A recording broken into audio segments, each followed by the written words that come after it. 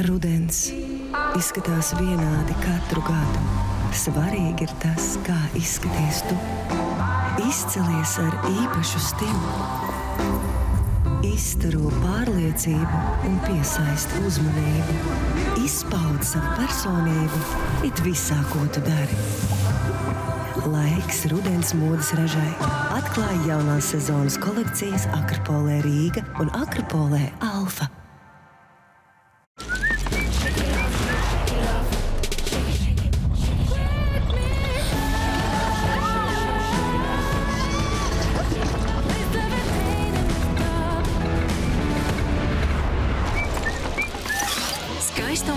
Klikšķa attālumā ienāc Douglas.CLV.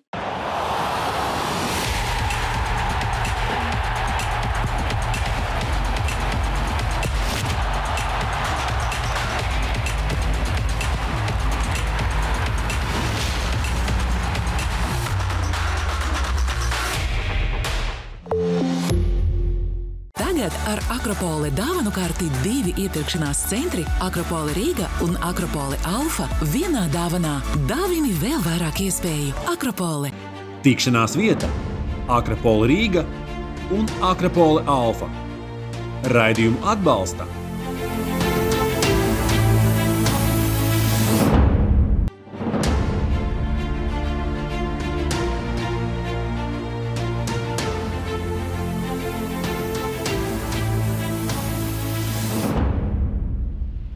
Piemēram, Anglijā mums bija ģērbtuve tāda.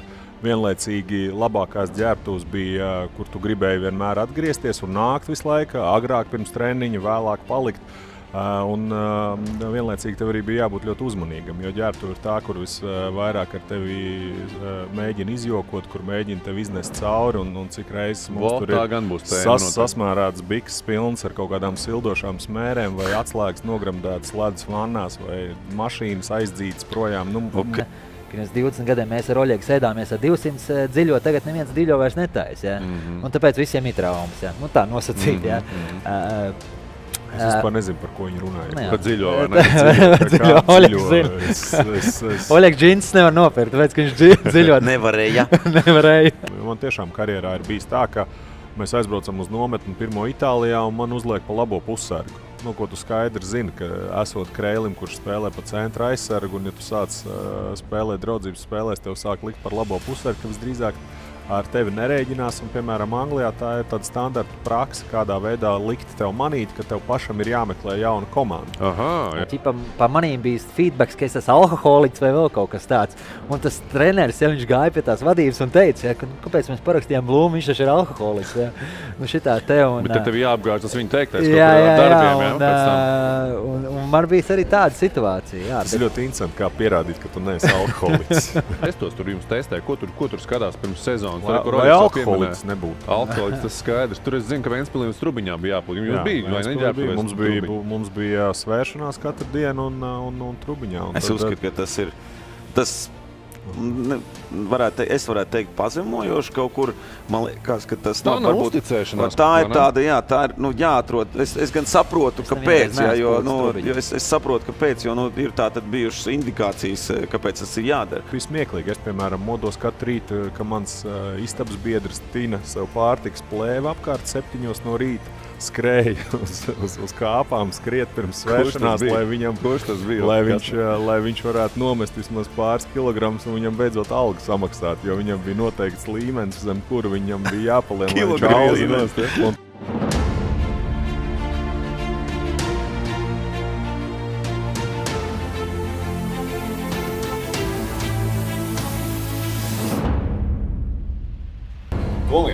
Laipni lūgt grilu Londonā, vai ne? Galdiņu klājies.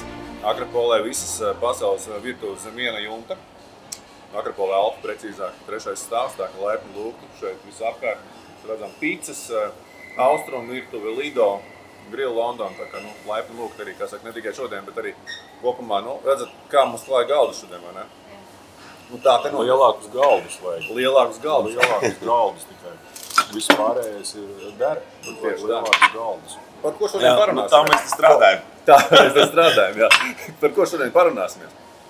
Jānis mums iepriekšējā raidījumā iezīmēja tādu interesantu tēmu, man liekas, vai ne? par uh, to, ko ir vienkāršāk, uh, kas ir vienkāršāk. Būt sportistam, vai būt funkcionāram, vai būt beig beigās trenerim. Un te mums ir, man liekas, pārstāvēt visi, nu, visplašākais spektrs, vai ne? Mums ir divi, divi, divi nosacīti funkcionāri, vai ne? Kluba funkcionārs, viņš ir varbūt citu formātu funkcionārs un Jā. treneris, vai ne? Kā ir iezīmējumi tā pavisam īsi? kaut kas jau ir jādara pēc karjeras beigām. Mēs laikam arī runājam par to. Vieglāk, laikam, spēlēt. Vieglāk spēlēt. Patīkamāk spēlēt. Patīk. Jā, noteikti patīkamāk spēlēt, lai gan, protams, dzīvē, es domāju, katram ir bijušas tādas reizes, kad arī klubā atrodoties kā spēlētājs, ja, un jo īpaši kā, kā ārzemnieks, ja, nu īstenībā ir, eh, ir ļoti grūti brīži. Man liekas, kā trenerim, tik grūti brīži, varbūt kā man bijuši kā spēlētājiem, nav no, bijuši kopumā. Ja? Bet, ja ņem tādu regularitāti, ja, tas, tas eh, atbildības vien, tad droši vien nu, nu, noteikti tā kā, tā kā trenerim noteikti lielāks. Labi, ieliekam daudz punktu, mēs vairāk parunāsim eh, studijā. Otra tēma - sezonas sākuma, vai ne? Kontekstā ar to, ka šobrīd tie klasiskie sporta veidi, komandas sporta veidi, nu, atšķirībā Latvijas platumgrādos futbola sezona jau šobrīd iet uz otro pusi. Ja? Tad kaut kā ir iesākusies, basītī ir iesākusies. Tas ļoti smagi iesākusies. Jā, jā, jā, jā, jā vai ne? Ar pērienu liepājā, ja? Jā, jā. Tā kā mēs par to noteikti varēsim, varēsim parunāt. Jā, bet nu, kurā brīdī ir jābūt gatavam, vai ne sportistam? Vai viņš var atbraukt uz treniņu nometni negatavs, vai viņš, var, vai viņš var noslēpt no treneru to, ka viņš ir negatavs vai ne? Kurā Zin, kā, es tev teikšu arī no vienas puses, kurā brīdī treniņu nometne sākās. Jā, jo nu, atceramies, tur Krievijas laiks vēl kaut ko tur jūlijā, pirmajā jau ir jābūt gatavam. Es kaut kā man tas negāja krastā īstenībā. Nu, es, es biju gatavs pusminus, bet eh, ja man sezona sākās septembrī, nu, kaut ko viņš darīja, jo nu, ir eh, obligāti vajadzīga tā atpūta arī. Mm -hmm. Es domāju, ka gatavība ir, ir atkarīga no tā, kad tu esi beidzis sezonu. Ja, kad sākās Cik aktīvi atpūties. Jā, arī. Nu, skaidrs. Nu, redz, nu, man liekas, ka tē, tēma arī saka, ir uh, pietiekami veiksmīga. Tā, ka es domāju, ka viņš ir iekožam vai ne, lai mums ir spēks parunāties. Iedam. Iedam. Jā, es domāju, ka tā ielēja. Es vienkārši domāju, iekožu. Maldināt skatītāju. Labi, es iekožu, jūs iedat. Sarunāts. Pēc brīža tiekamies studijā.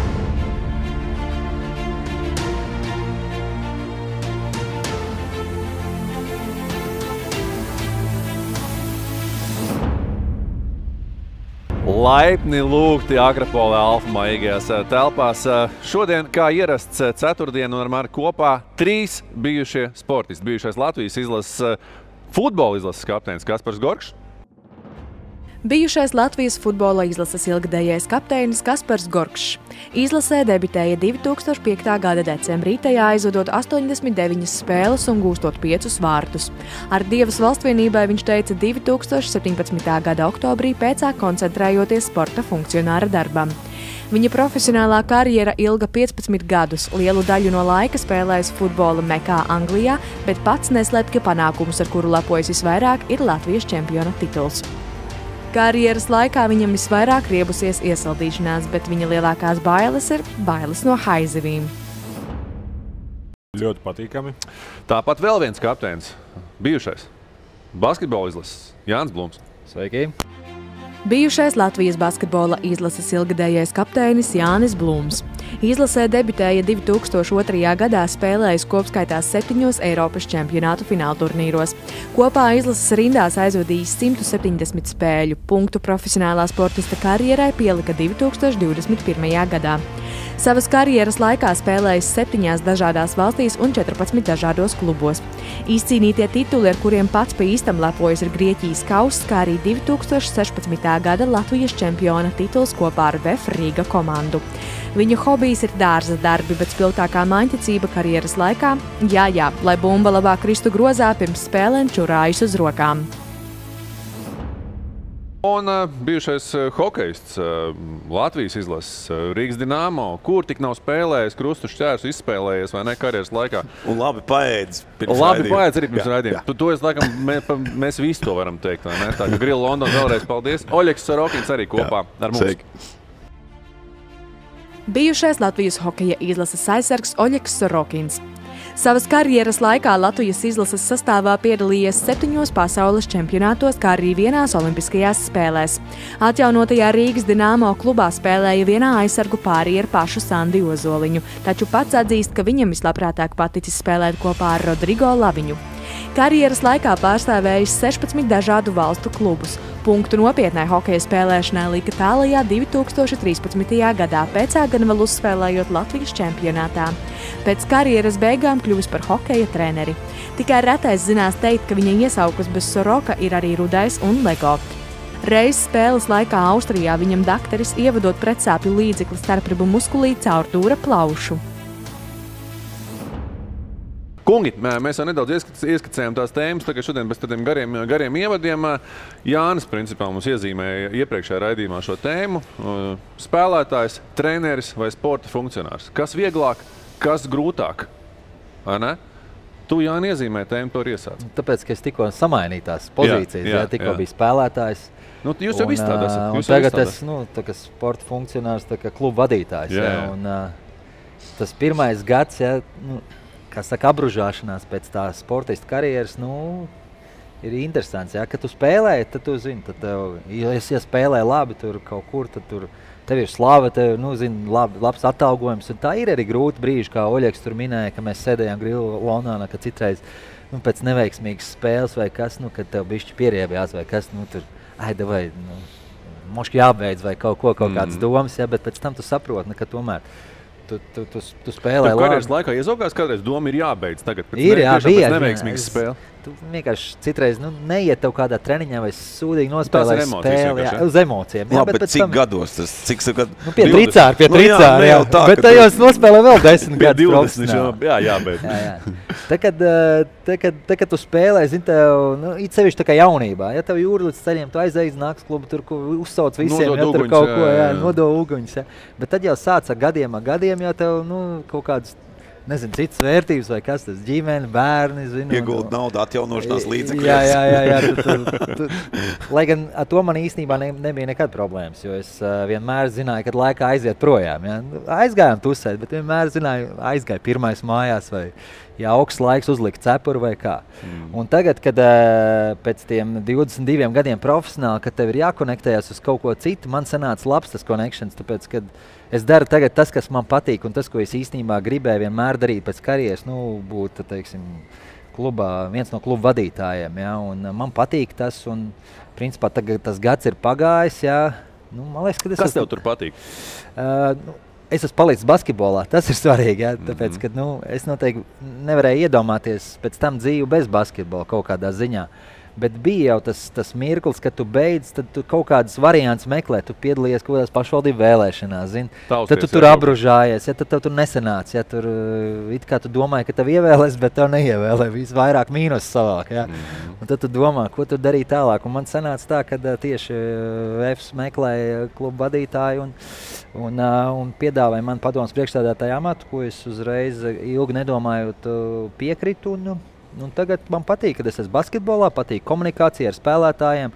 Ar, ar, ar, ar, ar biznesmeņiem, jo ir tas mans darbs. Man, mans darbs ir piesaistīt naudu, būt uh, kaut kādā ziņā klubu sejai un, un kaut kādā ziņā piemēriem arī Kā, jaunajiem. Tu jūti to, ka tu esi bijušais saka, no viens no tādiem spilgtākajiem tēliem vispār kopumā sporta veidā pēdējos gados bijis kapteinis vai ne? Tu jūti, teiksim, šobrīd sēžot ar uzņēmējiem pie viena galda, viņi, viņi novērtē to, ka viņi sēž ar Jāni Blūmu. Nu, noteikti tas man palīdz. Jā. Tas man palīdz un, un, un kaut kā vieglāk runāt varbūt.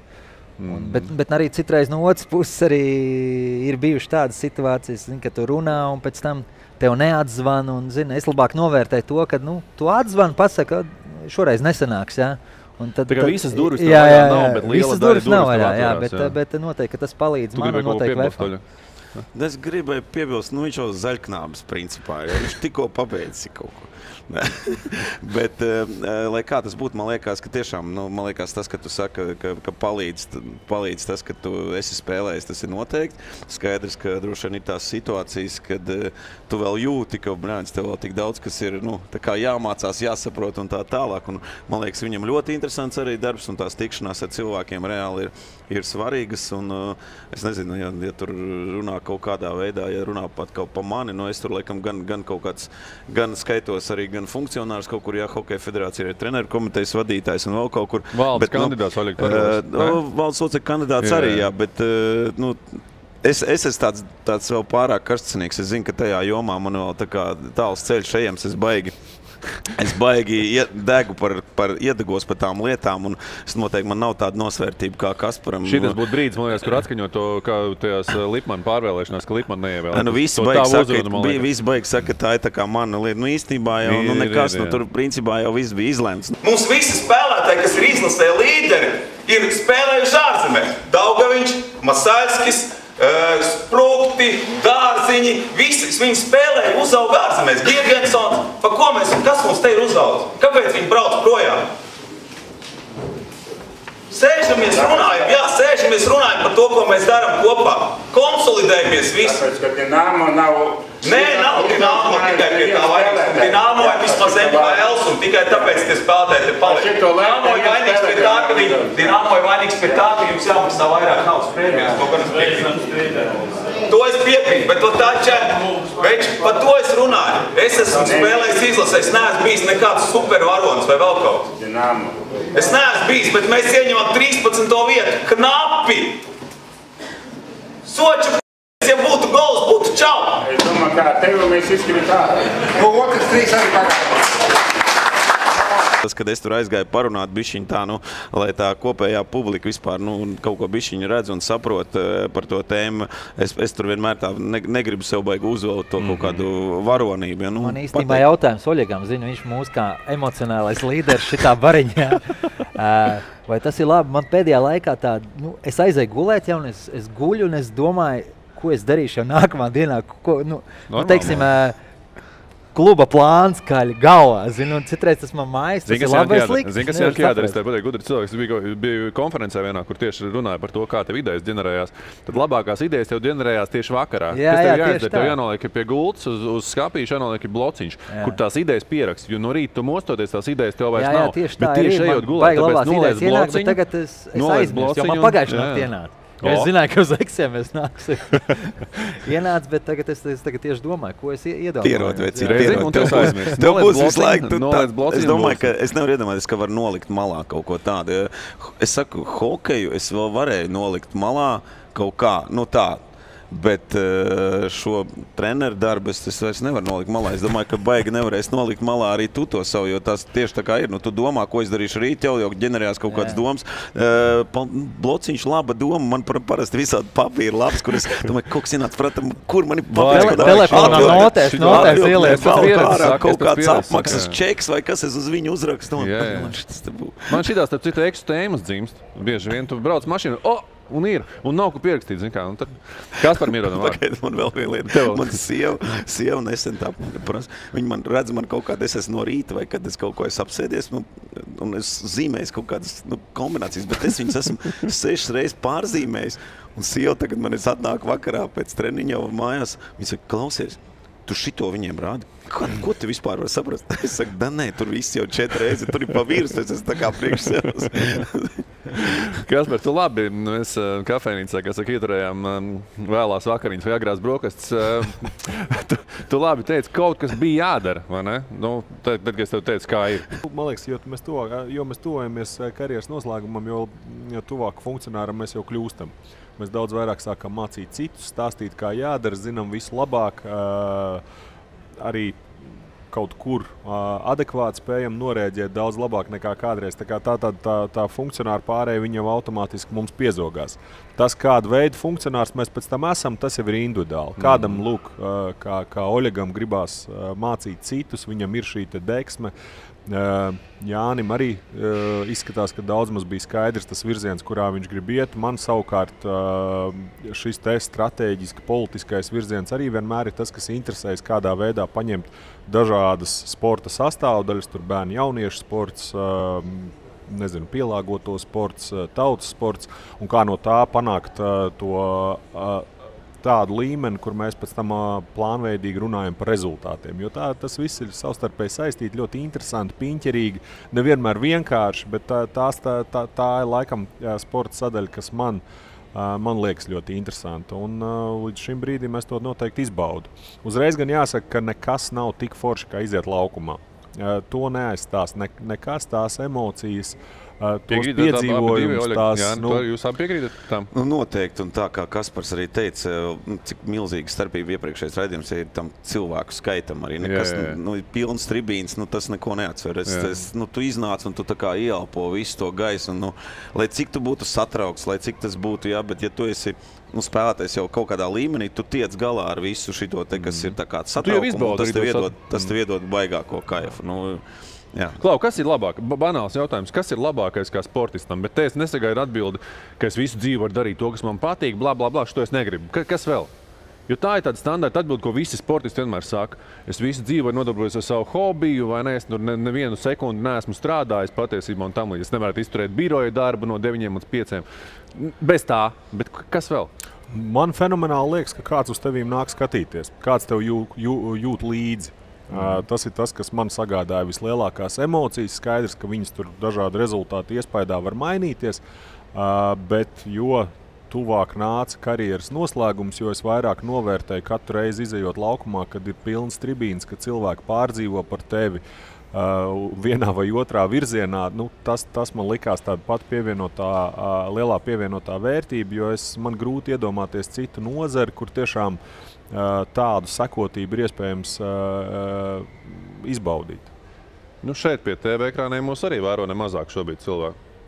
Vēl viena pozīcija. Nu, nu, mums ir jāmēģina kaut kā, kā šo TV ekrānu sekotību radīt atmosfēru tādu, ka tas, jā, jā, jā, ka tas uh, spēj uzjundīt kaut kādas uh, emocijas arī mūsos. Jo, mm -hmm paldies katram, kurš ieslēdz un apskatās, jo tas arī ir noteikti būtiski. Gan, paldies, ka novēlējāt tā. Jā, jā, jā.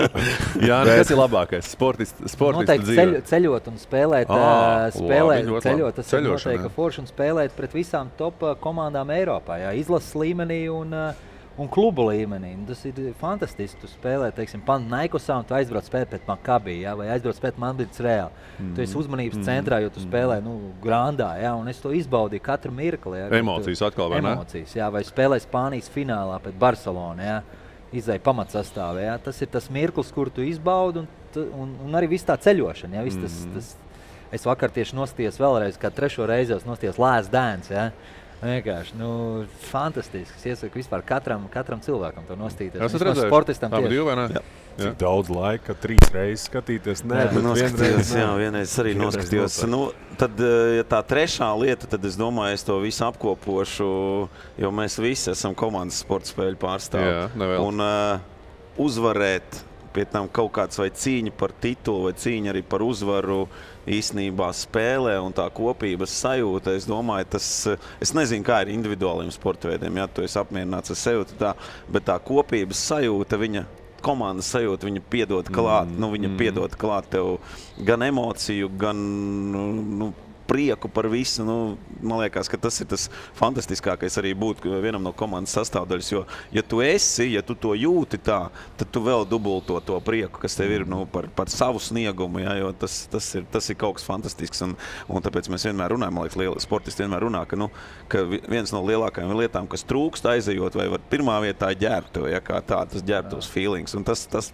principā ģērbtuve tas, tas pats, kas pārliekās laukumā. Nu, tā ir komanda. Jā. Es domāju, tas, ir, tas man pilnīgi tā galvā tāds sakāpes. Nu, Brēns varētu vēl izkāpt kaut kādu krāklu uzvilkt un izspēlēt. Nu, ģērbtuves tas ir interesants topiks. Es nezinu, vai varu veselu raidījumu ar to aizbāzt, bet noteikti tas, ko Oļegs pieminēja, tā ir viena no tādām. Īpašām liekas, sastāvdaļām, kas ir sajūta. Ja, jo, jo tas, kas, sajūta, piemēram, Anglijā mums bija ģērbtuve tāda, vienlaicīgi labākās ģērbtuves bija, kur tu gribēji vienmēr atgriezties un nākt visu laiku, agrāk pirms treniņa, vēlāk palikt. Uh, un uh, vienlaicīgi tev arī bija jābūt ļoti uzmanīgam, jo ģērbtuve ir tā, kur visvairāk ar tevi mēģina izjokot, kur mēģina tevi iznest cauri. Un, un cik reizes mums Bo, tur ir sas, sasmērēts biks pilns ar kaut kādām sildošām smērēm, vai atslēgas nogramdētas ledus vannās, vai mašīnas aizdzītas projām. Nu, okay, jau tādā mums bija. Ir, ir, jā, mums noteikti būs izstāstījis. Daudz, daudz izstāstīja. mums bija viens spēlētājs, kurš bija astoņus mēnešus traumēts pēc nu, nopietnas nopietnas ceļgala traumas, un viņš katru dienu nāca, lai saņemtu kaut kādu doktoru uzmanību uz savu satraumētā ceļa, un līdz ar to šo laiku nekad neizmantoja lieka. Un, un, un mēs katru reizi nācām pēc treniņa, kur bija notrenējušies, nācām un kaut kāds uh, lielisks uh, pārsteigums mm -hmm. mūs sagaidīja. Labs. interesanti. Šis interesanti. Gaidiet, jā, gaidiet. Sezonu turpinājumā noteikti. Es domāju, ka kolēģiem ar tikko stāstīt. Oļegs kaut kur man izstāstīs. Vēl, vēl kaut kas vai, vai, vai nu, no tām labām lietām? Vai var, varam pārēt varbūt tie netik pozitīvā? Un te mēs droši vien atkal negribam dzirdēt tur traumas, smagi treniņi un šito visu, bet pastāvēs atkal bija viņa plašāk.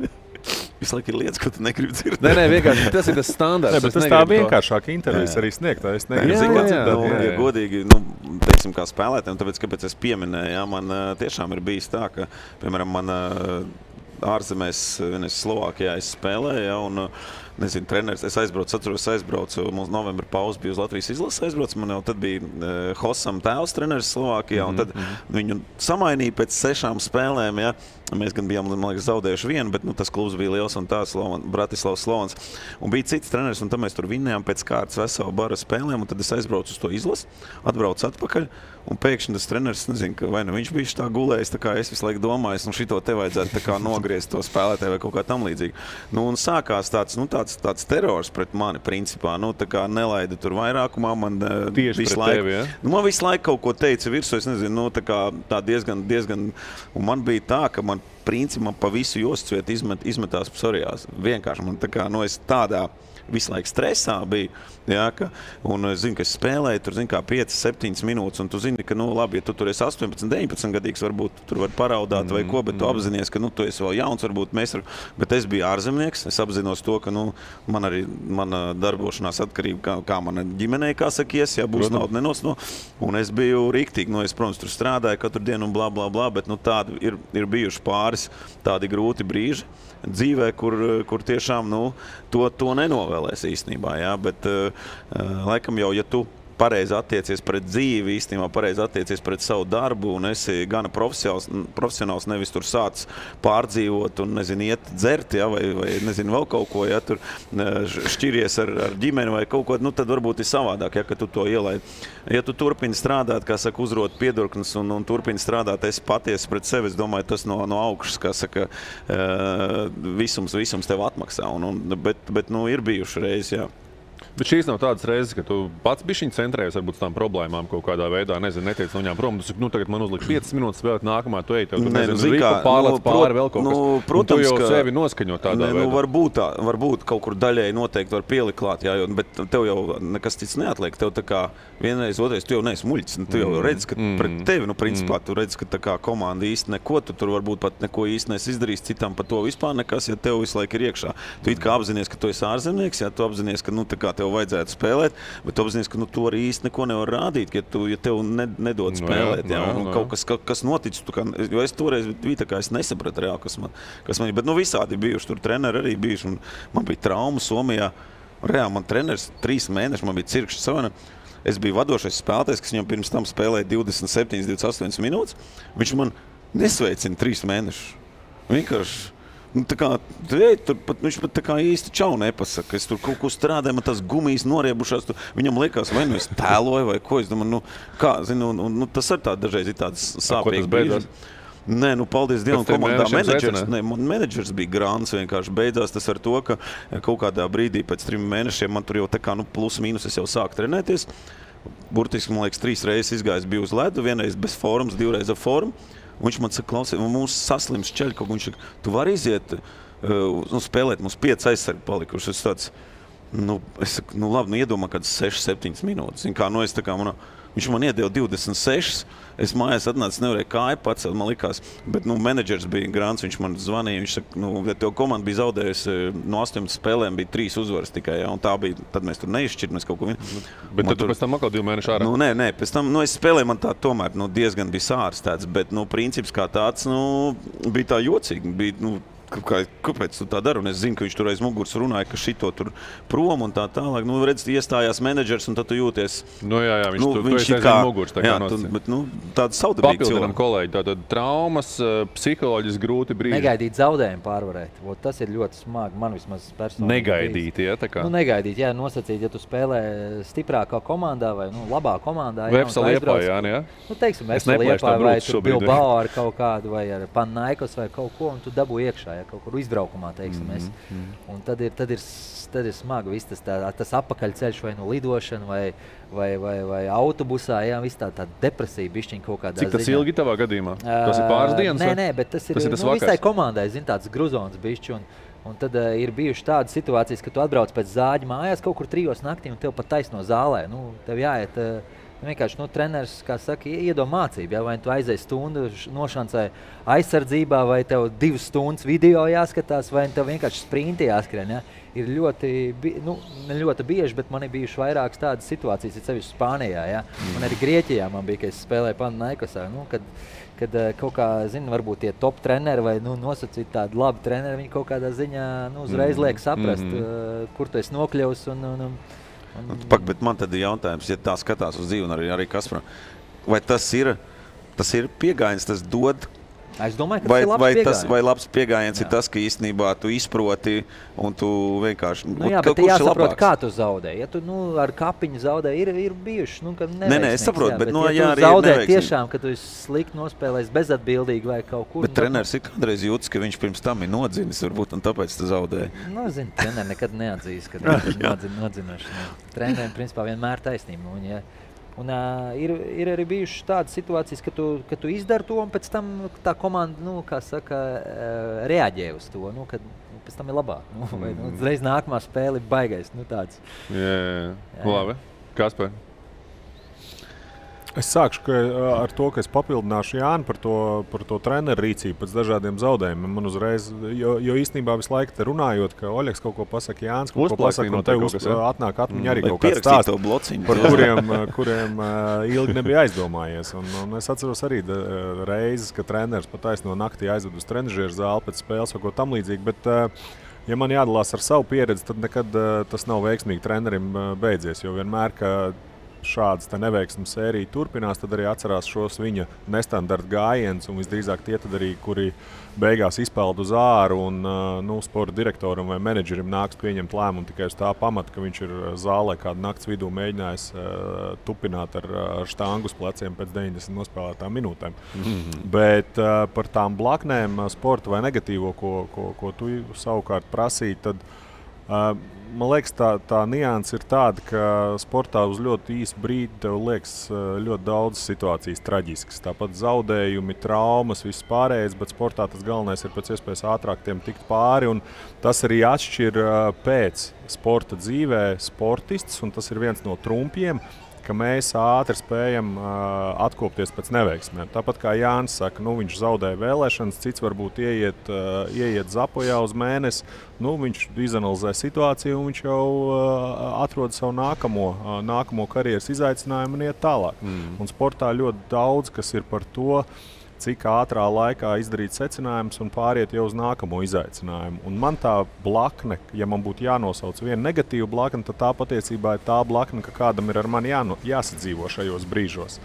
Jo tas uh, tuvajiem un, un, un tiem, kur dabū uh, šos te manus uh, nu, tādus emociju izvirdumus vai, vai ne, ne, negativitāti Vīriešu mēneša reizes. Jā, nu, Oļegs mums kā vienmēr uz Tulko. to Perfekt, viņš perfekt anatomisko, anatomisko mazliet velk viņam vienmēr, bet, eh, bet eh, tas Precīzi, ir ļoti labi. jā, Jā, diezgan, jā. Uh, tad uh, tas ir vistrakākais laikam, nu, ka kādam ir šīs te negatīvās emocijas, jo tie parasti nav pretinieki, kas to izbauda, tie nav varbūt treneri vai kāds cits, tie parasti ir tev tuvie, un tā blakne ir tā, kas Uh, ir, ir ļoti, ļoti smaga. un Tāpēc arī no tiem cilvēkiem, kas sadzīvo ar sportistiem ilgtermiņā, es domāju, ka viņiem ir uh, jā- jāizsaka ļoti liela, liela cieņa un, un, un pateicība, ka ar tādiem mūsu šiem te.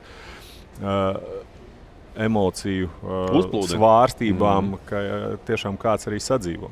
Mhm. Sievas un draudzenes. Tur vairāk, ciest, vai ne? Jā, jā. Labi, par sievietēm, draudzenēm mēs parunāsim kādā citā reizē. Ja? Uh, kas ir tas, varbūt, ne tas labākais un savukārt arī pozitīvais tajā, ko jūs šobrīd darat? Jūs jau sākumā bijāt to iezīmējāt, bet norezumējot šo tēmu kopumā. Jo es saprotu, ka tas kopējais rezumē bija tāds, ka sportistam tomēr būtu foršāk, vai ne? Nu, tā, visiem trim jums, ne? Oļeg, vai ne? Jā, ne.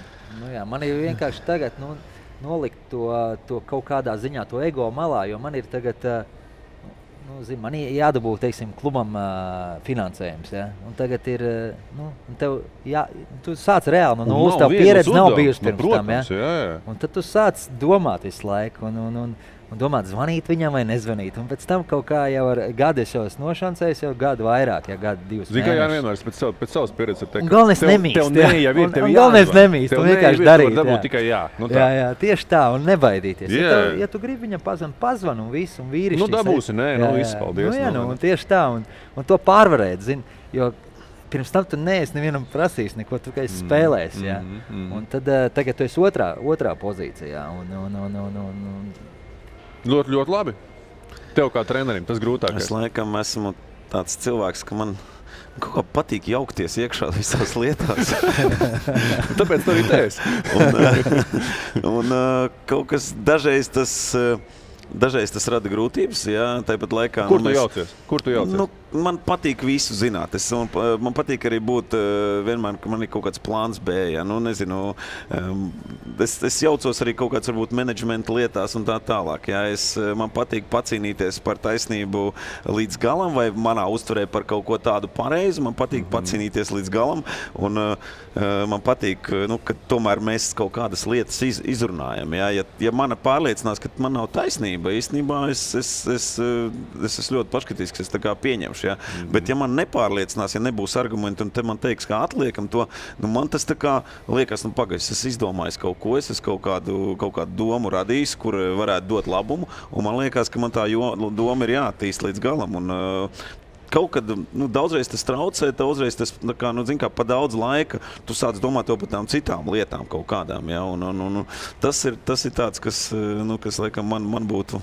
Man būtu, es, nezinu, es nezinu, vai tas ir labi vai slikti, ja godīgi. Nu, vienīgais, ko droši vien mazāk karstasinīgi varbūt tās aizstāvēt kaut kādas doma, lietas. Un es vienkārši nemāku runāt klusu. Un bez, es, kā es gribētu runāt tā kā Kaspars? Viņš tā mierīgi iesāk tā čil. Nu, es nevarētu būt tajā, tajā līmenī, kā Kaspars tur strādāt. Nu, vienkārši man tas, es nemāku tā. Es, es, es apzinos, ka man vajag būt mierīgākam. Tu visu laiku uguņo, ja? Bet, nu, nu, tā, es, ja es ie- iekarstu, man liekas, ka es nekad mūžā nekliedzu, bet man viss, ko tu kliedz? Es saku, man liekas, Nu, skaļi runāju. Es tā tu kā man esi- paceļās, es esmu fiskultūras skolotājs pēc profesijas arī, nu, tā kā, es saku, man aiziet balss tā kā normāli fiskultūras skolotājiem. Nu, un es domāju, ka arī hokeja skolā Rīga, nu, es domāju, ka Hallē manu balsi dzird visvairāk, Tu teiksim domā, tā. ka Agarpolē Alfa nedzird? Uh,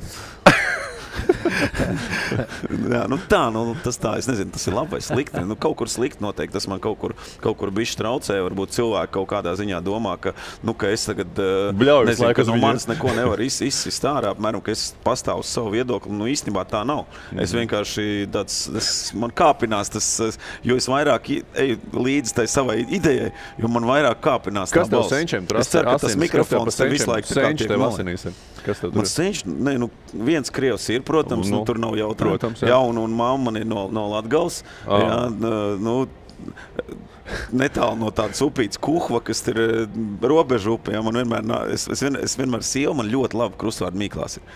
Un viņi man prasa, robeža upe, Krievijā, tu zini tādu? Es tāds vienīgais, ko es viņai varu pateikt. Kuhva. Tā ir tā, Vienmēr der. tā upe, Nu, nu, tāda, jā, der, ja. tad, tā, kad mazāk par šito paklājiet, palielām, ja tur vērš kaut kāds ķēra krustā vienreiz. Ja. Bet, eh, nu, un es tāds, man liekas, ka es esmu rīktīgi palīdzējis tajā krustvārdu mīklā. Pārējo visu viņi pateikt.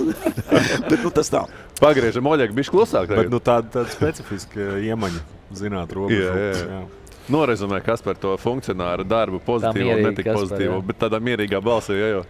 nu, tas uh, spo sportistam, man liekas, viss ir par rezultātu. Tā problēma ir, ka politiskajos procesos un tādā strateģiskā ļoti reti, ka tu ieraugi to rezultātu. Tu ļoti daudz procesu uzsāc.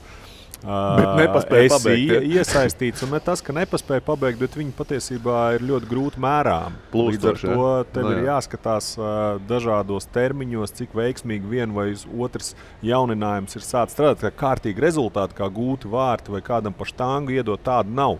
Un līdz ar to tas ir tas, kas man ir tāds liels izaicinājums.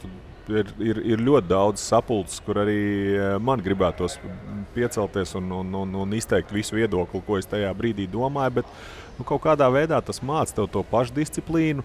Uh, savaldīšanos, mēģināt atrast kaut kādus kompromisus. Un, un, jā, bet tas galvenais, kas ir, ir, ir tiešām tāds skaidrs rezultāts. Tā parasti pēc tādas, uh, no, tādas uh, intensīvas dienas, dažādās sapulcēs vai mītiņos, nu, tad, tad mājās aiziet, nezinu, tur sa, sa, sagrāb lapas vai nopļauj zāli. Tad tev liekas, lūk, kur ir kaut kāds rezultāts, ko tu vari, par ko tu vari reāli izmērīt un atskaitīties. Un, un, un, un tad uz brīdi jūties arī apmierināts ar sevi. Mm -hmm. Jā. Tas nu, nu, rezultāts, principā, jā. Nu, es domāju, ka, protams, mēs varam rezultātu vienmēr traktēt dažādi. Un droši vien arī kaut kāds sapulcē ir viens ir lielais rezultāts, viens ir starposms kaut kāds. Jā, nu, jā. šito te mēs dabūjām, varbūt tās to mēs iešūposim. Jā, bet, eh, bet nu, kopumā es domāju, sportistam kā tādam tas rezultāts ir svarīgs. Un, uh, tas, kas ir jāiemācās, man liekas, trenerim un uh, nu, kādam varbūt funkcionāriem arī, varbūt funkcionāriem kaut kas ir tālāks, bišķi, bet nu, trenerim noteikti ir jāiemācās, ka, lai tiktu pie kaut kāda rezultāta, ir, ir tie ir daudzie starposmi arī, kas ir tas mazais rezultāts. Jāapzinās vispār, kas ir rezultāts uz doto brīdi. Ja, ko tu varbūt domā, kas būs rezultāts pēc Nu, astoņiem mēnešiem. darbā tas- tas tieši tas pats, Nu, droši vien tas pats. Es saku, jā, nu, Jā, vienkārši jā. varbūt tās te, te tādā es negribu runāt, ka o, tagad mums ir jāuzvar obligāti. Ja, ka tu dabū to rezultātu un kaifu daudzreiz no tā, ka čaļi sāk pildīt lietas. Par ko tu esi treniņā darījis, par ko tu esi runājis, un tu sāc redzēt, ka viņi sāk kļūt par nu, par hokeistiem, ja mēs ņemam manu to puiku līmeni, ja viņi sāk kļūt par hokeistiem. Jā, jo Mm. es viņiem daudzreiz saku, es saku nu, jūs čia vēl līdz galam vēl neesat hokeisti. Jūs nodarbojaties ar hokeju, jā, bet, bet nu, tā, ka jūs pelnīsiet naudu, ka jūs ap, savai ģimenei un, un tā tālāk, tad, tad jūs varbūt būsiet jau hokeisti. Un tas ir tas. Tie ir tie starposmi, kas ir īstenībā svarīgi un ko tu definē kā rezultātu. Mm Mhm, -hmm. Nu, skaidrs, nu, ko vēlreiz norizmējot, tad sportistam jebkurā gadījumā bija foršāk būt nekā ir funkcionāram, bet funkcionāra darbs arī ir pietiekami interesants, vai ne? Vai nu tu esi, vai nu tu esi vienkārši, nu, kā saka, kabineta funkcionārs, kā tas ir uh, Kaspar un Jāņa gadījumā, vai nu tu esi treneris, vai ne? Nu, nav jau tā, ka viņš tikai kabinetā Tā ir, jā, ir, nu, ir arī jāapzinās, ka, ka, ka viena laba lieta ir tā, ka tev ir jāapzinās, tiešām, ka profesionāla uh, sportista karjera nevar ilgt mūžīgi. Un Mm, šeit arī mm. ir jāuzsver, ka sportistiem būtu jādomā par to jau laicīgi, uh, jāpapildina savas zināšanas, jāiz, jā, jā, jāizmanto laiks liederīgi, lai viņi varētu kaut kādā veidā sevi sagatavot, mm. paņemt to savu pamatu paketi, kas viņam ir, tā neatlaidība, spēja tikt pāri neveiksmēm, papildināt viņu ar zināšanām un tad izmantot vienalga treneris uh, uh, vai kāds cits, uh, cits funkcionārs. Mm. Nu, ko, kolēģi, es kā, kā ierasts reklāmas pauzīties, izmetīšu līkumu pa veikaliem. Es esmu šopalholiķis, Jā, nāks līdz šoreiz. Labi. Laižam, laižam. Mēs ar Jānu dodamies pa veikaliem. Jūs pats ir reklāmas, pēc brīža tiekamies. Rudens izskatās vienādi katru gadu. Svarīgi ir tas, kā izskaties tu. Izcelies ar īpašu stilu. Izstaro pārliecību un piesaista uzmanību. Izpaud savu personību, it visā, ko tu dari. Laiks rudens modes ražai. Atklāja jaunās sezonas kolekcijas Akropolē Rīga un Akropolē Alfa.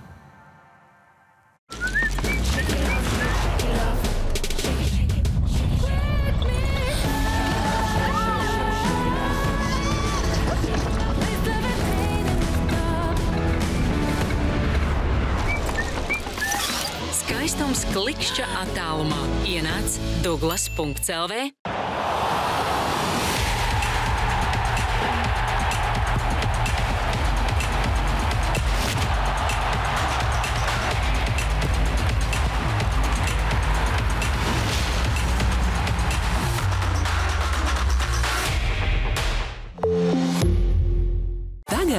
Akropoli dāvanu karti divi iepirkšanās centri - Akropoli Rīga un Akropoli Alfa - vienā dāvanā. Dāvini vēl vairāk iespēju. Akropoli!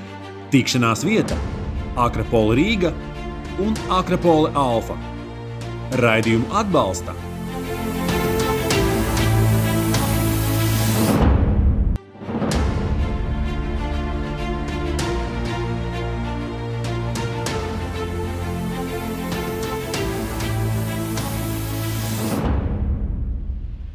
Esam atpakaļ Akropola Alfa maigajās ā, telpās. Neliels līkums pa veikaliem mums ir jānu. Šoreiz gan jāne tukšām rokām, bet nu, iepirksimies nākamreiz. vai Ne? Nevar vienmēr, kā saka, šķiesties ar naudu. vai ne? Nauda ir jānopelna, ko mēs arī turpinām šobrīd, em, kā saka, noteikti mm, arī dzen darīt. Ē, Jā, pamodelējam ē, sezonas sākumi. Kādi tie ir sportistiem?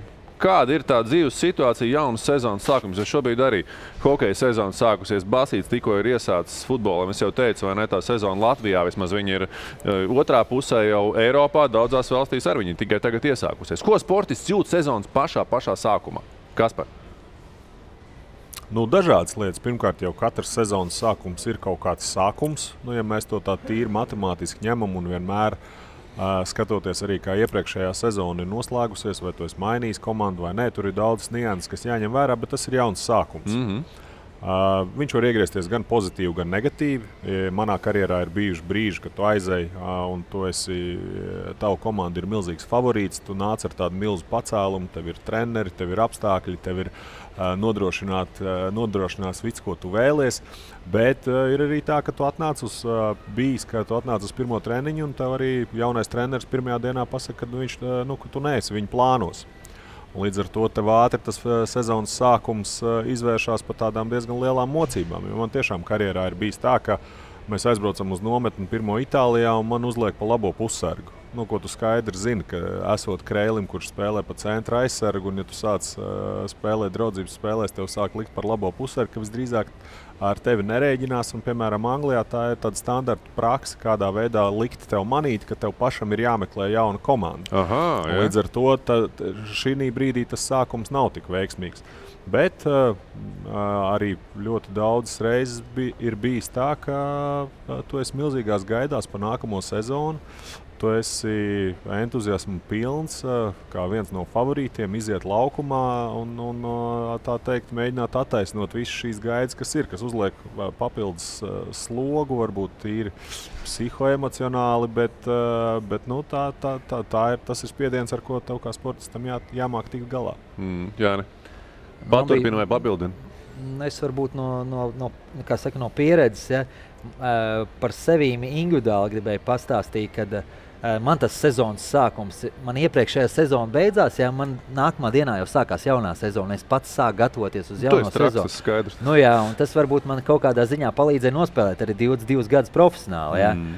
Un, uh, un līdz ar to, ja tu, nu, tu, tu mēģini sevi zinu, uzturēt formā uz to pirmo sezonas treniņu nometni, un tad jau tu aizbrauc uz to treniņu nometni štosē, ja, un tev nav jāuztraucās par sevi, jo tu, tu esi jau normālā formā. Nu, cik tu iedod sev brīvu pēc sezonas? Nu, nedēļu? Nu, nu, Tā kā nu, jā, nedēļa, nedēļa, jā, bet nu, arī kaut ko padara pa dienu. Zini, kaut ko nezinu, aizēja vienu vieglu krosiņu, izskrien vai kaut ko bišķi piepumpēt. Cik tie grūti vispār nesaforsēt? Te tu arī noteikti traumas ir. Tu tikko nu, sezona ir beigusies, un tas organismam prasās nē, nu, atjaunot. Tu, tu, tu, tu trenējies ja? ar treneriem, kas, nu, kas apmēram kaut ko saprot. Kaut ko saprot jā, jā, nu, agrāk bija nu, tās, tās metodas jau savādākas. Pirms 20 gadiem bija savādāk, Protams. tagad savādāk. Jā.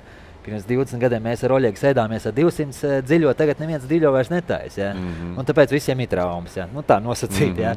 uh, uh, Es vispār nezinu, par ko viņi runāja. Nu, par dziļo vai ne? dziļo, Oļegs zina. Oļegs džins nevar nopirkt, tāpēc, ka viņš dziļo. Nevarēja. Nevarēja. Tagad jau var, jā. Tagad var. Bet ir arī bijuši man tāda situācija, ka tu aizbrauc uz pirmssezonas nometni un tu zini, ka treneris tev negrib. Jo parakstījusi kluba vadība. Ja, man, para, man bija personīgi, es neteikšu, kur klubu, bet man parakstīja kluba vadība, prezidents un, uh, un uh, ģenerālmenedžers, bet treneris man negribēja īsti. Un viņš ir izdomājis, ka ka viņi to Es kaut kur uzzināju, kulāros, kad ķipa, pa manīm bija feedback, ka es esmu alkoholiķis vai vēl kaut kas tāds. Un tas treneris, ja viņš gāja pie tās vadības un teica, ja, ka, nu, kāpēc mēs parakstījām blūmu, viņš taču ir alkoholiķis. Ja. Nu, šitā te un, Bet tev jāapgāž tas viņa teiktais, jā, jā, jā, darbiem, un, jā, un, un, un man bija arī tāda situācija. Jā, tas bet... ir ļoti interesanti, kā pierādīt, ka tu neesi alkoholiķis. Nu, izziņu vienkārši. Tas, tu... Izziņu no attiecīgās iestādes. tas vienkārši. Tu cer, bet tu negribi pēc tam vēl. Ir, tas ir, tas ir viss. Dzer tikai vienu dienu. Un tad tev, tev, tev spēlēt komandā, kur treneris negrib, ir šausmīgi. Tas ir šausmīgi. Nu, vienkārši šausmīgi. Viņš laikam lielāko daļu sēd malā, ne? Vai Nē, lai gan es biju starter, star, starter poingards. Es biju starter poingards. Tā kā be, beigās viss sanāca to, ka viņi atlaida. Viņu atlaida. viņu atlaida. Nu, redz, nu, uz, kā... Uzvarēja beigās to, vai ne? Jā, jā, jā. To alkoholiķis domzīja pēdiņās. Bet, nu, sezonas stākums, jā, tas ir. Uh, treneriem ļoti, ļoti riskanti. Jo, jo treneriem jā, jābūt gatavam tam sezonas sākumam. Jo, zini, divas, trīs nedēļas un viss. Komanda mm. sāka kaut kādu 5-0, un trenerim varbūt, kā saka, mm. treneris jau parasti atbild par rezultātu. Nu, Spēlētājs protams, vēlāk kaut kad maina, jā, bet treneris uzreiz samaina. Oļeg, tev, cik tev Nu, bija tam gan es vienmēr nepiekrītu, ka treneris sākumā samaina un pēc tam spēlētājs. Es, es mums hokeja parasti tomēr sāk ar Tavās komandās ir spēlētājiem savādāk. jā? Oļeg komandās Sāk ar savādāk. Oļegu uzreiz pirmo. Oļeg komandās ir savādāk. Tur atbild pilnībā ne, spēlētāji. Nu, visādi ir bijis, visādi ir bijis piekritīšu. Jā. Eh, Es arī gribētu teikt, ka nu, mums kādreiz eh, bijušais hokeja skolas Rīgas direktors teica, ja, nu, vienmēr tur vecākiem teica, ka nu, eh, hokeja sezonas, jauns hokeja sezonas sākums ir tad, kad beidzās iepriekšējā sezona. Tev tā bija tiešām? es gan uzskatu, ka, nu, es gan uzskatu, ka atpūta ir daļa no, no sezonas. es uzskatu, ka tā ir jā, daļa no sezonas. Jā, es, es piekritīšu, jā, ka nav, tas nav tā, ka sēdi un, un kas saka, tur nezinu, sūta aliņu, jā, vai tagad vai ēd burgerus, jā, un Nu, sēdi, sēdi un staigā tikai pa shopping centriem. Uh, noteikti nē, tā kā mēs jau esam pieminējuši to, ka mēs kādreiz spēlējām. Futbolisti, basketbolisti kopā mēs spēlējām futbolu. Jā, meža parkā nu, divas, pat trīs man liekas, reizes nedēļā, ik pa laikam. Jā, tā kā, tas bija tāds regulārs jūnija, ja mēs skatāmies tā hokeja sezonu. Tad Izlase beidzās Tu tur tos beigās. aliņus, tam beigās. iepriekšējos Nē, nu, nē, nē, nē, nav tik trakti aliņi jau.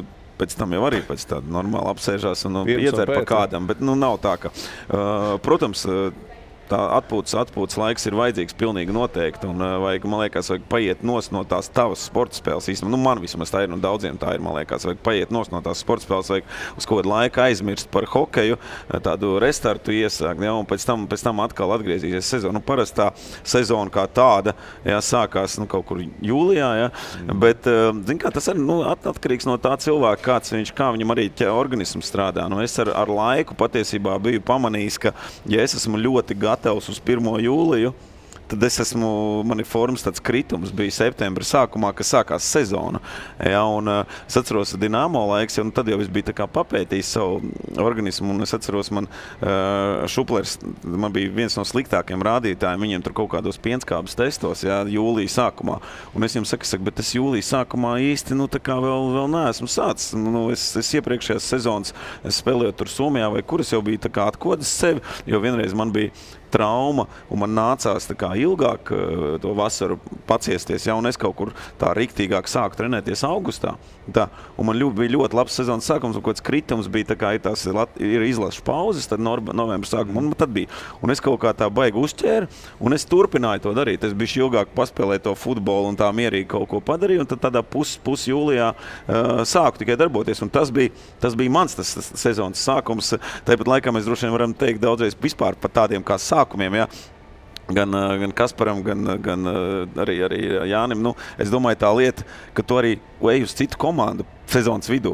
Un tas arī ir jauns sākums. Arī nu, dzen, jā, tas arī kaut kur, nu, vai tas bija labi pirms tam, vai slikti. Ja tu gribi sev ap- visdrīzāk, ka slikti, un tu gribi sev apliecināt, vai arī otrādi ir uz playoffiem, ja tu esi paņemts kā tāds uh, spēlētājs, kas varētu palīdzēt komandai. Un arī tie ir kaut kādi sākumi, lai nu kā uz sākumiem ir jābūt, nu, man liekas, uz sezonas sākumu.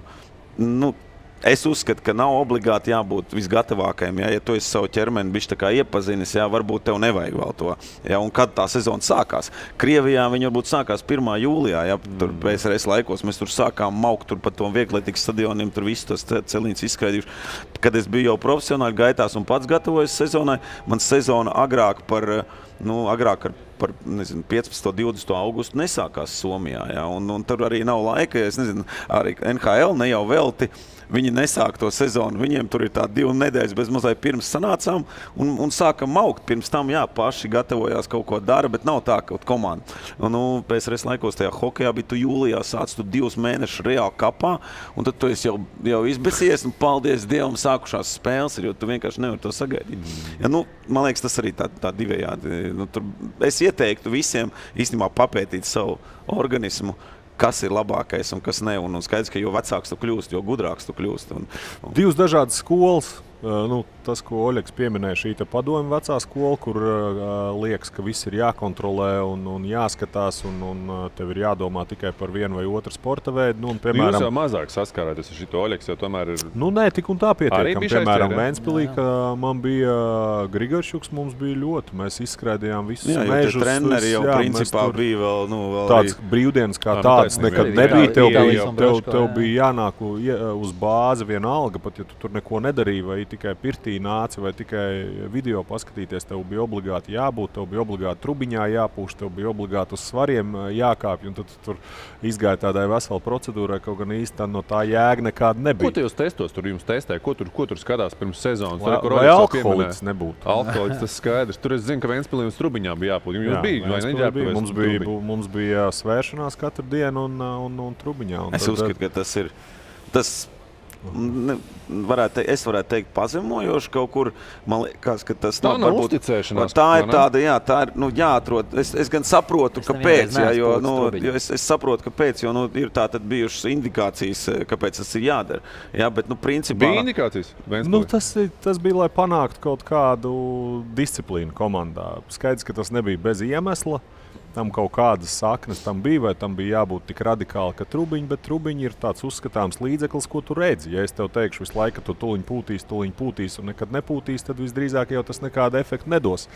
Bet nu, tāda, tāda procedūra mums bija, un tas bija smieklīgi. Es, piemēram, modos katru rītu, ka mans uh, istabas biedrs Tina sev pārtiks plēva apkārt septiņos no rīta, skrēja uz, uz, uz kāpām, skriet pirms svēršanās, lai viņam, lai viņš, uh, lai viņš varētu nomest vismaz pāris kilogramus un viņam beidzot algu samaksāt, jo viņam bija noteikts līmenis, zem kura viņam bija jāpaliek. ja? Un tad bija, jā, kilogramiem tas maksāja bija. algu. Un liek teikt, ka viņš visu dienu nēda. Tagad termoveļu Tad uzvelk. uh, 12. Tad nebija naktī uh, viņš nāca, sūtīja Diānu, man liekas, tādu.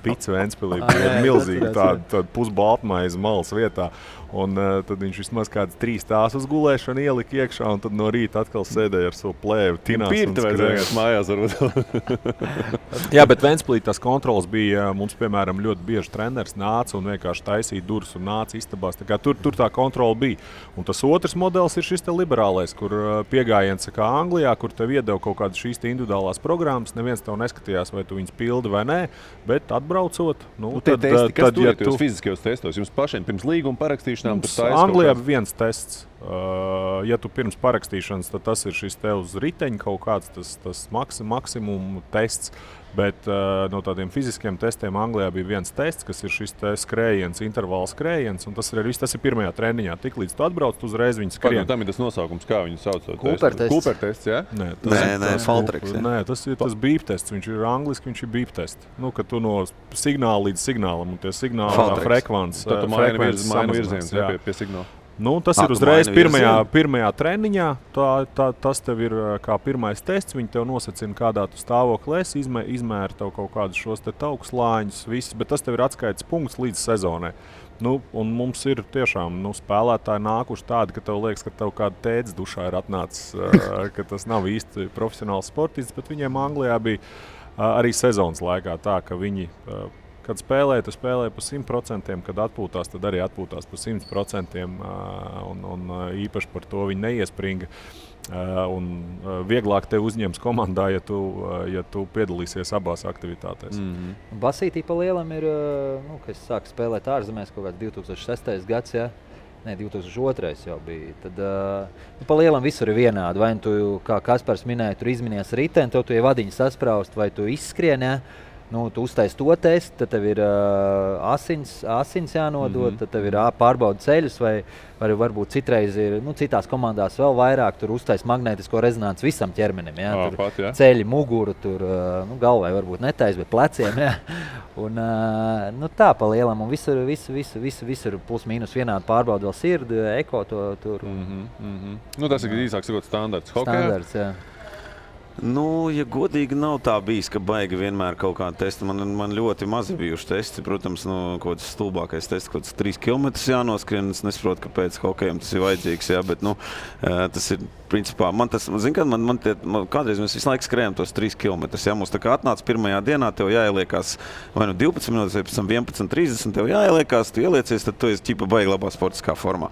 Jā, bet nu, mēs zinām, ka ir cilvēki ar ātrām šķidrām un ir cilvēki ar lēniem. Jā. Mm. Nu, Rodrigo Lamiņš, viņš nekad mūžā, man liekas, no 14 nebija skrējis ārā. Ja? Nu, es skrēju 10, 18, piemēram, ja? man, manas labākais. Nu, kāda jēga uz ledus tas vispār neparāda? Nu, vien, varbūt nu, raksturu pārbaudēji tur 18, 17 gados. Nu, tā ir paskatīties, nu, kāda ceļa var, var piespiest sev vai Kā ne. viņš vēms, ja? Bet principā, nu, kāda jēga? Nu, nekāda. Un, ā, nu, tas vairāk arī mūsdienās ir, ka mēs tomēr arī vairāk jēgu skatāmies no tā, ko trenējamies. Un, ja mēs pieminam tos vecos krievu laikus, ja, zināmā kā uz krievi turējās principā uz, kā, uz tā, ka viņi mācīja sačkot. Ja viņi nesačkotu, Nu, ja tu dari to visu, ko tev liek darīt ar pilnu klapi, nu, man liekas, tur, kā, tur viss, viss pamazām atsaka. Jā? Nu, es, es, es arī spēlēju, paspēlēju pāris gadus Krievijā, un tā kā mums tur tie treneri, treniņi ar treneriem bija, jā? nu, ņemsim tur, kas mums tagad šis te, tas eh, crossfits, jā, plus mīnus, jā, tas tagad nosaukums savādāks, bet, nu, apļu treniņš palielam, jā.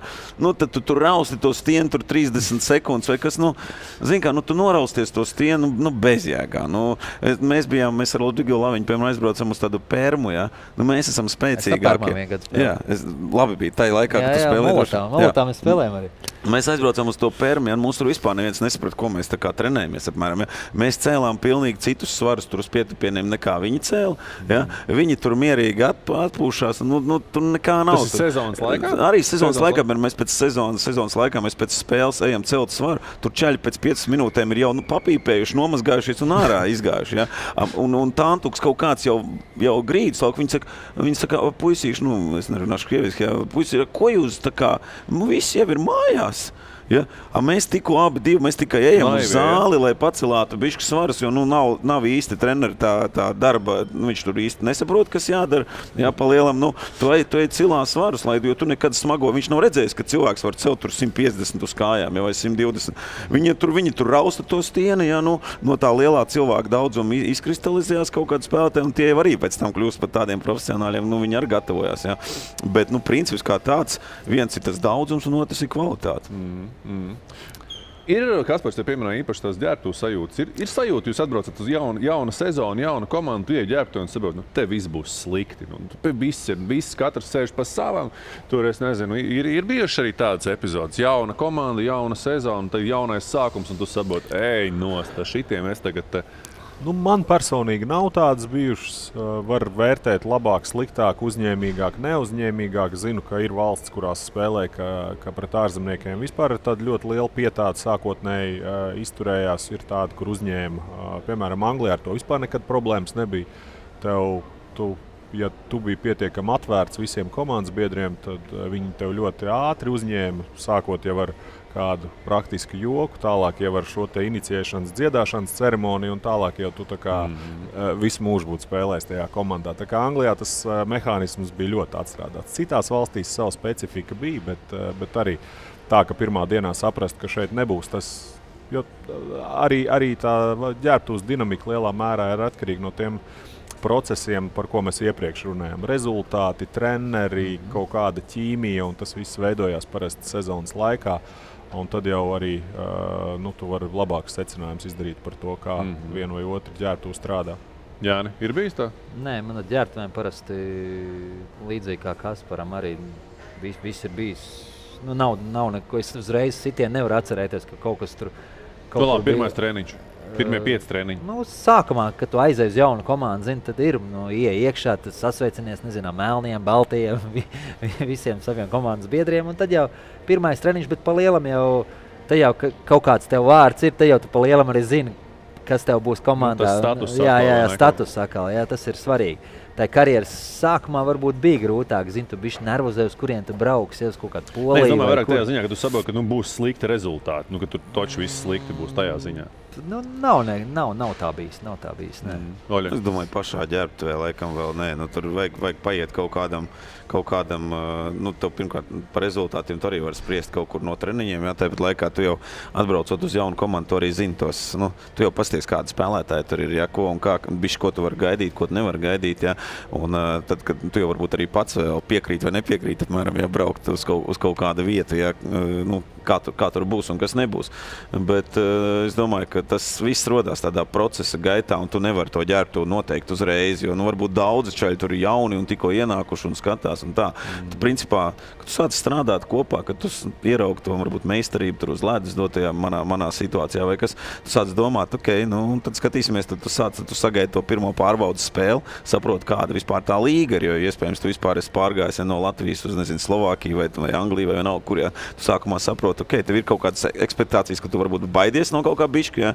nu, nu kā baidies, ir satraukums, mēs braucu, piemēram, uz Zviedriju, jā, man bija tā kā, man likās, brīnās, nu tie Zviedri, viņiem tur tā taktika vienmēr un tā tā. Man bija tāds, lai gan man bija jau normāli jau vecums, man jau bija tad, nu, 33, jau man liekas, vai 32. Tu jau atkal nu, biedāji kaut ko, ne? Nē, nu es tā kā, zin kā, tu tā kā iekšēji domā, nu, Nu, interesanti, kā tur būs. Un tā kā Kaspars saka, redz, viņam Anglijā savādāk. Tur tā, mums atkal tādā Zviedrijā, nu, Zviedri sevi uzskata par labākiem hokeistiem pasaulē. Nu, man kā ārzemniekam bija jāizcīna vieta vairākumā. Nu, man bija jāizcīna vieta. Tur man bija treneris un men, otrais treneris, un nu, viņš bija aizsargu treneris un menedžers. Viņš bija vienā personā. Nu, tad, tu tā kā pirmo spēli tu atbrauc, nospēlē nu, mazāk, zini, bet nu, tā, nu, nu, viņš tur nu, baigi tur stāsta visu kaut ko. Kā, bet, nu, ka jau tu esi, zin, ka tu esi tomēr tādām nu, pieredzējis, un ja tu esi pārliecināts par sevi, nu, tu atradīsi tos variantus. Un tā arī tā Zviedrijā bija. Bet sākumā aizbraucu, un bija tāds satraukums. Es domāju, nu, es tā kā īsti varbūt tādu baigo taktiku, tur, ko viņi tur tūlītās zīmēs. Jā, bet, nu, nezinu. Man bija interesants gadījums, īstenībā, tagad es atcerējos Saragosā, ja es aizbraucu. Un man uzreiz komandas kapteinis saka, tā, metamies katrs pa sotakam un iekārtojam ģērbto. Ja? Nop, no, mēs nopirkām teļu, tur kompi, tur eh, kaut kāds IKEA, tur tos divāns un viss. Mums bija tāds savs tāds čilauts stūris. Ja, tur, nezinu, tur jaunie nāca pirms, nezinu, ātrāk vai, vai kaut kur vai brīvdienās, vai ko vienkārši nāca spēlēt kompi. Mm, zin, tur mm. kaut kas tur dara savas procedūras vai kas, bet mums tāda mājīgums bija. Jā, jā. Un uzreiz tas to ģērbtu padarīja tādu, tādu visu baigi gribēja ātrāk mm. nākt vai ilgāk palikt. Vai, tur bieži arī pits izsaucām vai tur tos uh, tādu tortīlis, ja, kas ir Spānijā populārs. Un, uh, Un, un otrs puses arī, kad es spēlēju, teiksim, Grieķijā, Panaikosēties vispār, nu, zinu, aizbraucu uz Grandu, ja tur sēž tā, tā kā zaldāts. Ja, nu, tā. Mm -hmm. Skaties, ko Grieķi tur diamantīdus, ko viss dara. Ja, pēc tam arī tev vajag laika, to status kaut kā dabūt, ka tu esi tur iespēlējies, tā, un tad tu sāc bišķi atvērties. Ja. Mm -hmm. Tā kā, nu, Tāda gadījuma arī ir. Skaidrs, man liekas, mēs šodien vairākas atkal tēmas ieskicējām. Ģērbtuvē būs vēl viena no tēmām, jo tur arī saka, interesantas lietas notiek. Jānis jau šodien, šodien iezīmēja. Kolēģi, es jums šai reizē teikšu paldies. Un, nu, tiekamies jau kā ierasts pēc divām nedēļām. Veiksim jums savos saka, ikdienas darbos un procesos. Skrienam katrs uz savu, savu pusīti, bet pēc divām nedēļām tiekamies atkal šeit pat Akrapola Alfa maigajās telpās. Skatītāji arī joprojām iegaumē ceturtdienu vakarā ir tie, kad tiekamies TV4 ekrānos. Šai reizē vislabāk! Paldies! Atā. Paldies! Čau, čau!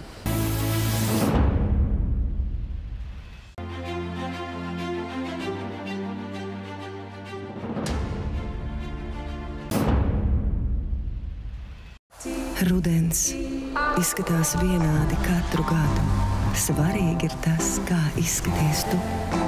Izcelies ar īpašu stilu izstaro pārliecību un piesaista uzmanību. Izpaud savu personību, it visā, ko tu dari. Laiks rudens modes ražai.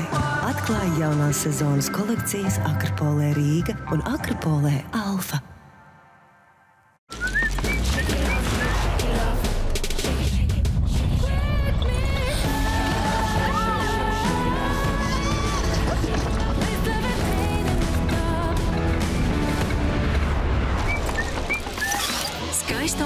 Klikšķa attālumā ienāc Douglas.CLV.